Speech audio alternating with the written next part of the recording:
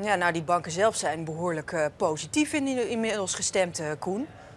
Ja, dat lijkt er wel op. En uh, we krijgen daar dus nog een rondje van vandaag. Goldman met cijfers en uh, Citigroup uh, die, die gaan presenteren.